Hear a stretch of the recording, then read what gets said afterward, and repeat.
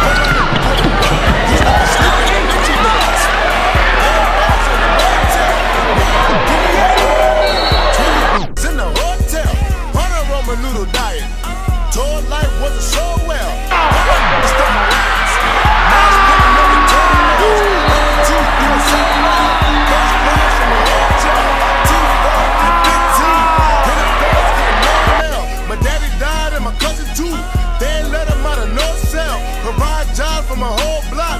I cannot slow down. I won't stop now. Mother, this is my town. Take the block, make it hot now. 143rd with the drop down.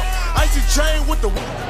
Chris, talk to me about how it felt playing your first home game against Texas Well, it was really exciting. One, uh, you come out and you've got a, a really nice crowd, and I thought the crowd was really uh, uh, more energetic uh, than we was and had more of an edge. And I thought they did a great job of, of really helping our basketball team really stand the game. And I thought uh, really uh, the excitement that they had, them cheering, really gave us the edge that we needed really to fight back and get through it at the end.